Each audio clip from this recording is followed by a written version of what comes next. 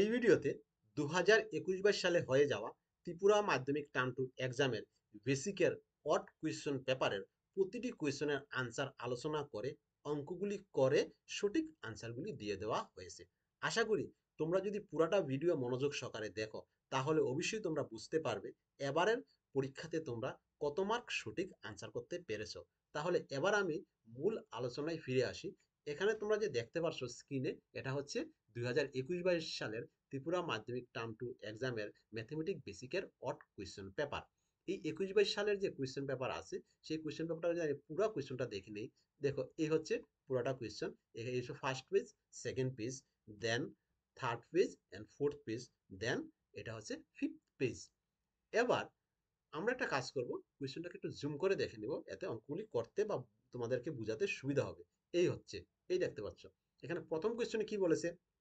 প্রথম কোয়েশ্চনে বলেছে a x square plus b x plus c equal zero দ্বিঘাত সমীকরণের বীজদ্বয়ের মান সমান ও বাস্তব হবে। যদি আমরা জানি বীজদ্বয়ের মান সমান ও বাস্তব হয়, যদি নিরূপক ইকুয়াল টু জিরো নিরূপক মানে b square minus four ac equal to zero তাহলে এক্ষেত্রে আনসার কি? এক্ষেত্রে আনসার হচ্ছে এটা b square minus four ac equal to zero পরে কোয়েশ্চন বলেছে টু সিক্স টেন ফোরটিন সমান্তর প্রগতির সাধারণ অন্তর হলো। সাধারণ অন্তর মানে পরের পদ থেকে আগের পদকে বিয়োগ করলে। অর্থাৎ সিক্স মাইনাস টু হচ্ছে কি ফোর অর্থাৎ সাধারণ অন্তর হচ্ছে কি? হচ্ছে ফোর এটা হবে আনসার পরে কোয়েশ্চন নিচের কোনটিতে সংখ্যাগুলির সাধারণ সমান্তর প্রগতিতে আছে? অর্থাৎ নিচের কোন শ্রেণীটা সমান্তর প্রগতিতে আছে?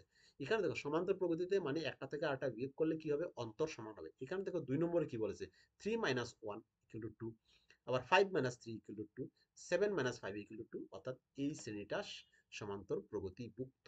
এখানে বি নম্বরটা আনসার পরে কোয়েশ্চন বহিস্থ কোনো বিন্দু হতে বৃত্তের উপর অঙ্কিত স্পর্শকের সংখ্যা কত? আমি একটা সম্পাদ্য দিয়েছি, সেক্ষেত্রে কটা স্পর্শক এঁকেছিলাম? দুটা স্পর্শক। অর্থাৎ বহিস্থ বিন্দু থেকে বৃত্তের উপর অঙ্কিত স্পর্শকের সংখ্যা হলো টু পরে কোয়েশ্চন আমরা যদি এবার একটা কাজ করি যে টেন থার্টি ডিগ্রির মান কত?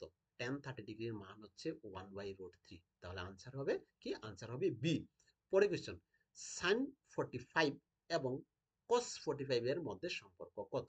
আমরা জানি সাইন ফোরটি ফাইভ এর ভ্যালু হচ্ছে one by root two cos forty five এর ভ্যালু হচ্ছে ওয়ান বাই রোড টু তাহলে তারা কি হবে? তারা হচ্ছে সমান। আনসার হচ্ছে কি সমান? নিচের কোনটি? সাইন থিটার মান হবে না।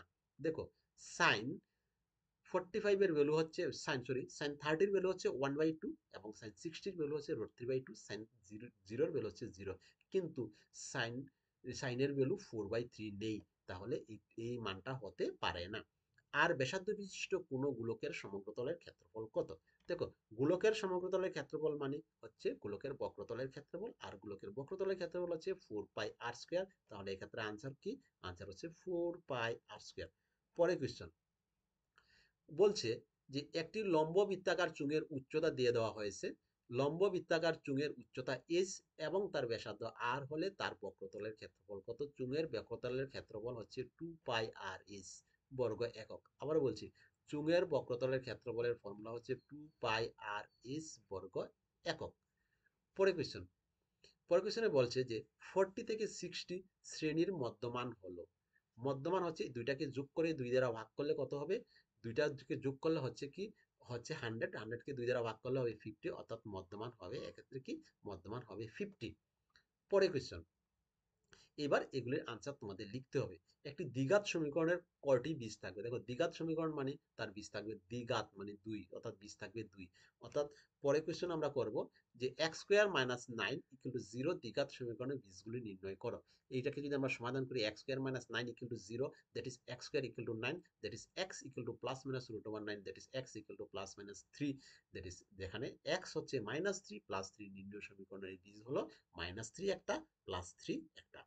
পরে question question number thirteen x square minus six x plus five equal to zero সমীকরণের যোগ বীজদ্বয়ের যোগফল কত? আমরা জানি সমীকরণের বীজদ্বয়ের যোগফল হলো minus b by a formula minus b by a তাহলে এ কি আছে? এখানে এ হচ্ছে ওয়ান এখানে এ কত আছে? এখানে এ আছে এ আছে এখানে ওয়ান আর এখানে বি হচ্ছে কি? মাইনাস সিক্স বি হচ্ছে মাইনাস সিক্স তাহলে এখানে বি এর ভ্যালুটা যদি বসাই মাইনাস সিক্স তাহলে কি হবে? মাইনাস মাইনাসে প্লাস অর্থাৎ প্লাস সিক্স হবে আনসার পরে কোয়েশ্চন কোন সমান্তর প্রগতির প্রথম চারটি পদ লিখো, যার প্রথম পদ হচ্ছে প্রথম পদ হচ্ছে টেন সাধারণ অন্তর হচ্ছে কি টেন তাহলে এক্ষেত্রে কি হবে? এক্ষেত্রে আনসার হবে কি?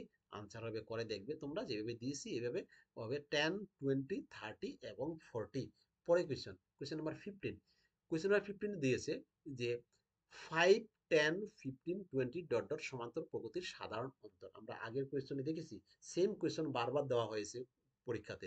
সাধারণ অন্তর হচ্ছে কি? সাধারণ হচ্ছে পরের পদ থেকে আগের পদকে বিয়োগ করা that is that is ten minus five ten minus five equal to five হচ্ছে আনসার পরের question number sixteen two seven twelve সমান্তর প্রগতির পঞ্চম পদ নির্ণয় করা। পঞ্চম পদ মানে পঞ্চম পদ হচ্ছে, এখানে আমরা জানি আমরা জানি a n equal to a plus n minus one d এটা হচ্ছে ফর্মুলা এখানে প্রথম পদ এ দিয়ে দিয়েছে কত? টু এবং দ্বিতীয় সাধারণ অন্তর দিয়ে দিয়েছে কত? Seven minus two equal to five তাহলে এটা যদি আমরা পঞ্চম পদ বার করি, তাহলে a five equal to a plus five minus one d এখানে এর ভ্যালু বসালাম ফাইভের ভ্যালু বসালাম ক্যালকুলেশন করে কি পেলাম?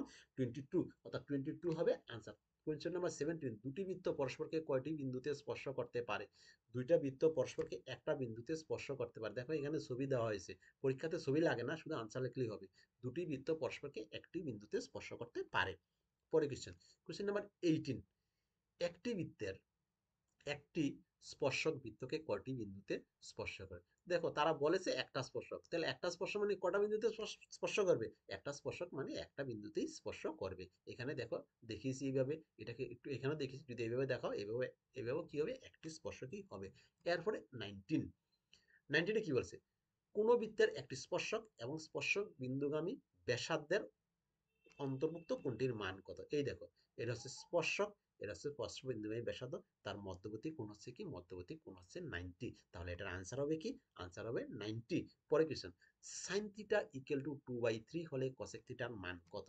Sine theta equal to two by three এই সাইনের sine sine theta equal to one by cosec theta equal to two by three এটাকে যদি আমরা উল্টিয়ে দিই, তাহলে cosec theta equal to three by two হবে আনসার পরে কোয়েশ্চেন টোয়েন্টি ওয়ান মান নির্ণয় করো tan forty five by cot forty five আমরা জানি হচ্ছে ওয়ান কট ফর্টি হচ্ছে ওয়ান এখানে বসিয়ে দিলাম মানটা one by one equal to one হচ্ছে আনসার পরে কোয়েশ্চেন বলেছে, ভূমির কোন বিন্দু থেকে অনুভূমিক রেখা বরাবর থার্টি মিটার দূরে দণ্ডায়মান একটি টাওয়ারের চূড়ার উন্নতি কোণ ফর্টি ফাইভ টাওয়ারটির উচ্চতা নির্ণয় করা।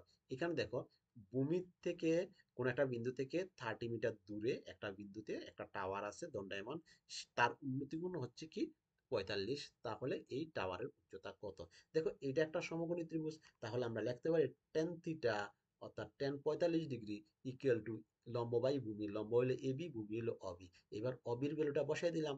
টেন পঁয়তাল্লিশের ভ্যালু হচ্ছে ওয়ান এবার যদি এটাকে কোনাকুনি বা ক্রস মাল্টিপ্লিকেশন করে দিই, তাহলে আমরা পাবো এবি ইকুয়াল টু কত? এবি ইকুয়াল টু থার্টি অর্থাৎ আনসার হবে থার্টি মিটার অর্থাৎ টাওয়ারটির উচ্চতা হবে থার্টি মিটার পরে কোয়েশ্চেন টোয়েন্টি থ্রি অবিন্দুতে অবস্থিত কোনো দর্শকের জন্য দৃষ্টিরেখা হচ্ছে এই। এই বিন্দুতে একজন লোক আছে, তার দৃষ্টিরেখা, অর্থাৎ সে এই বরাবর দেখে অবি বরাবর দেখে। অনুমিক রেখা হচ্ছে অবি অবি তাদের অন্তর্ভুক্ত কোনটা হচ্ছে এই। অর্থাৎ এ ও বি কে বলা হবে?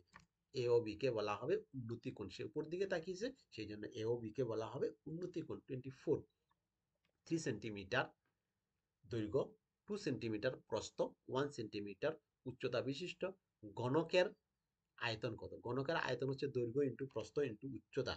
গণকের আয়তন হচ্ছে দৈর্ঘ্য ইন্টু প্রস্থ ইন্টু উচ্চতা। তাহলে এখানে দৈর্ঘ্য কত? থ্রি প্রস্থ টু উচ্চতা ওয়ান তাহলে এটাকে ইন্টু করলে হচ্ছে সিক্স গণ সেন্টিমিটার এটাতে আনসার হবে সিক্স গণ সেন্টিমিটার পরে কোয়েশ্চেন এবার বলেছে যে, একটি লম্ববৃত্তাকার চোঙের উচ্চতা দিয়েছে ফোরটিন মিটার এবং তার ভূমির ব্যাসার্ধ টেন মিটার হলে বক্রতলের ক্ষেত্রফল নির্ণয় করো।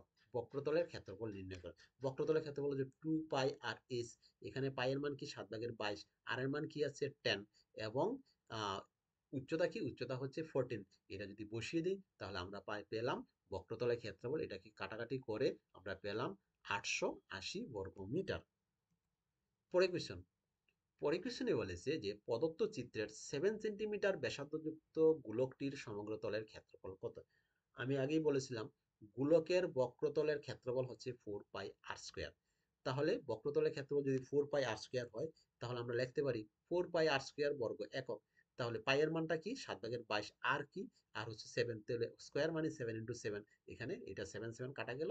কাটা গিয়ে আনসারটা হলো কি? ছয়শো ষোলো বর্গ metre. The six one six বর্গ মিটার। পরে question five three four eight সংখ্যাগুলির যৌগিক গড় কত? এখানে সংখ্যা আছে কয়টা? চারটা। তাহলে চারটা সংখ্যাকে যোগ করে চার দিয়ে ভাগ করলে সেটা হবে যৌগিক গড়। এবার যৌগিক গড় কি হলো? এটাকে five plus three plus four plus eight divide by four that is twenty by four equal to কি হলো? ফাইভ অর্থাৎ এক্ষেত্রে যৌগিক গড় কত হলো? এক্ষেত্রে যৌগিক গড় হচ্ছে ফাইভ আনসার হচ্ছে কি? আনসার হচ্ছে ফাইভ পরে কোয়েশ্চন পরে কোয়েশ্চনে কি বলেছে? Six ten nine fifteen thirteen সংখ্যাগুলির মধ্যমান নির্ণয় করো। মধ্যমান নির্ণয় করার আগে আমার সংখ্যাগুলিকে কি করতে হবে? সংখ্যাগুলিকে আমার মানের উদ্যক্রমে সাজাতে হবে অথবা নিম্নক্রমে সাজাতে হবে। এক্ষেত্রে আমরা কি করলাম? মানের উদ্যক্রমে সাজিয়ে নিলাম। এক্ষেত্রে সংখ্যাগুলিকে মানের উদ্যক্রমে সাজিয়ে নিলাম। সাজিয়ে নিয়ে আমরা দেখতে পেলাম ঠিক মধ্যখানে কে আছে? অর্থাৎ মাঝখানে কি আছে? মাঝখানে আছে টেন আবার বলছি, মাঝখানে আছে কি? টেন সেই জন্য এই সংখ্যাগুলির মধ্যমা হচ্ছে টেন আনসার হবে মধ্যমা কি? মধ্যমা হচ্ছে টেন তাহলে পরে question question number twenty nine twenty নাইনে কি বলেছে? কোয়েশ্চেন নাম্বার টোয়েন্টি নাইনে বলেছে যে ফিফটি সিক্সটি শ্রেণির নিম্ন শ্রেণির সীমানা নির্ণয় করে। একটু আগে একটা কোয়েশ্চেন দিয়েছে এমসিকিউতে সেম কোয়েশ্চেন আগেরটা ছিল ফর্টি থেকে সিক্সটি এবার এবার এটা এটা হয়েছে কি? এবার হয়েছে ফিফটি থেকে সিক্সটি তার নিম্ন শ্রেণি সীমা কত? তাহলে এখানে নিম্ন শ্রেণি, নিম্ন মানে কে আছে? নিম্নে আছে ফিফটি তাহলে এক্ষেত্রে নিম্ন শ্রেণি সীমা কত হলো? এক্ষেত্রে নিম্ন শ্রেণি সীমা হচ্ছে ফিফটি এক্ষেত্রে ফিফটি তাহলে আনসার কি হবে? আনসার হবে আনসার হবে ফিফটি পরে question question number thirty question number thirty কি বলেছে? কোয়েশ্চেন নাম্বার থার্টি বলেছে যে, এখানে উপযুক্ত পরিসংখ্যা বিভাজন থেকে সংখ্যাগুরু মানের শ্রেণীটি নির্ণয় সংখ্যাগুরু। আবার বলছি, সংখ্যাগুরু মানে সবচেয়ে বেশি যার পরিসংখ্যা, সে হচ্ছে সংখ্যাগুরু। তাহলে এখানে পরিসংখ্যা সবচেয়ে বেশি কত আছে?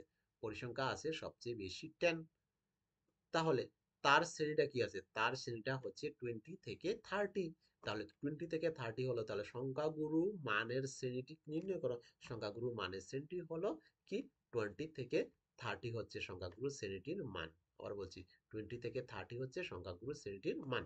পরে কোয়েশ্চেন কোয়েশ্চেন নাম্বার এখানে হচ্ছে থার্টি ওয়ান থার্টি ওয়ানে কি বলেছে? সমাধান করো। X square minus thrice x minus ten equal to zero বলছে, সেটার কি করতে হবে? এটাকে তোমরা সমাধান করো বলেছে। তাহলে আমরা একটা কি করলাম? প্রথমে এখানে যে টেন আছে টেনটা আমরা লিখতে পারি ফাইভ ইন্টু টু এবার ফাইভ থেকে যদি টু মাইনাস হয়, দেখো ফাইভ থেকে যদি টু মাইনাস হয়, কত হবে?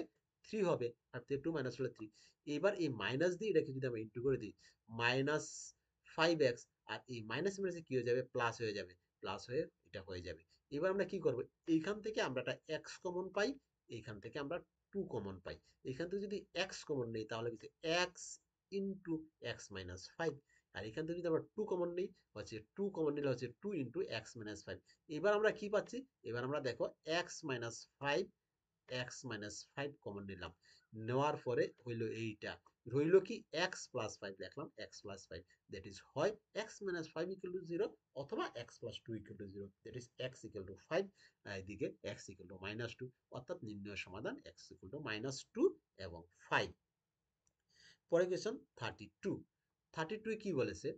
থার্টি টু এ বলেছে যে এখানে অকেন্দ্রীয় বৃত্তের পি বিন্দু হতে পি এ যে পি বিন্দু হতে পি একটা স্পর্শক, একটা পিবি একটা স্পর্শক এবং তারা পরস্পর থার্টি ডিগ্রি কোণ উৎপন্ন করেছে। যদি হয়, তাহলে এ পিভি তিরিশ ডিগ্রি যদি হয় এ ও বি কত? দ্যাট ইজ এই কোণটার মান কত তারা বের, বাইর করতে বলেছে। যে প্রশ্নবোধক দিয়েছি, এই কোণটার মান কত তারা বের করতে বলেছে। তাহলে আমরা জানি এইটা নাইনটি ডিগ্রি দেখাচ্ছে এটা নাইনটি ডিগ্রি দেখাচ্ছে। নাইনটি নাইনটি প্লাস নাইনটি হচ্ছে ওয়ান এইটটি দ্যাট ইজ একশো আশি ডিগ্রি এটা হচ্ছে একটা চতুর্ভুজ, চতুর্ভুজের চারটা কোণের সমষ্টি হলো তিনশো ষাট ডিগ্রি। তিনশো ষাট ডিগ্রি থেকে একশো আশি গেলে রইল একশো আশি।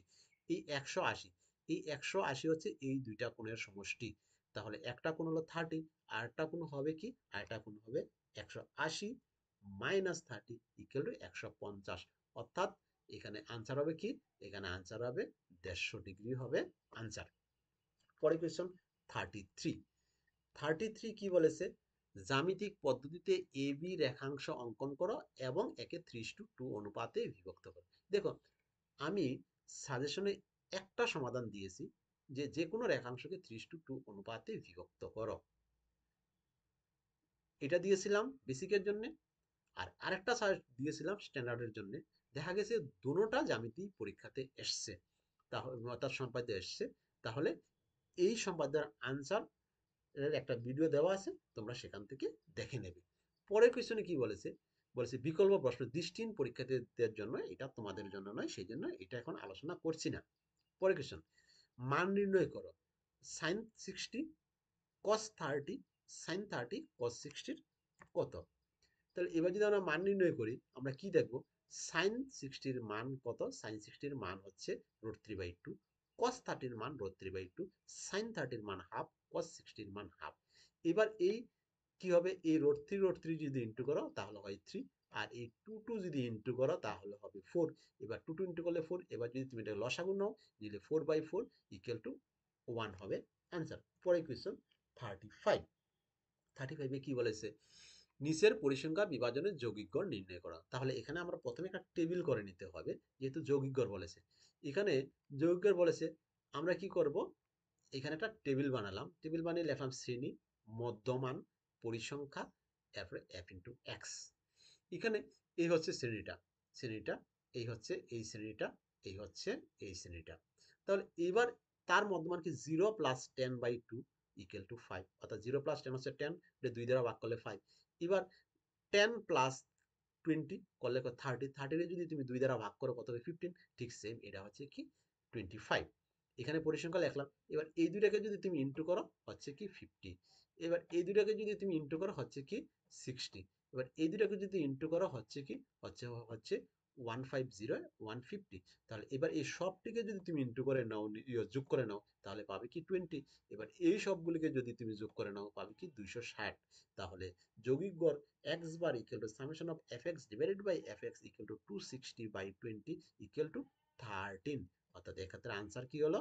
আনসার হলো থার্টিন এবার যাব অর আরেকটা প্রশ্ন আছে। এখানে এই যে প্রশ্নটা এই প্রশ্নতে দিয়েছে সংখ্যাগুরু মান নির্ণয় করো, সংখ্যাগুরু মান নির্ণয় করো। দেখো, সংখ্যাগুরু, তাহলে এটাকে যদি এটা এটা যদি করে নেই, এটা আমরা টেবিল ছাড়াই করে নেব।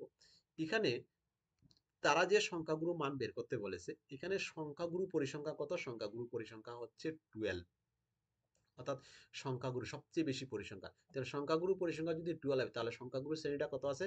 সংখ্যাগুরু শ্রেণীটা হচ্ছে দুইশো থেকে দুইশো পঞ্চাশ।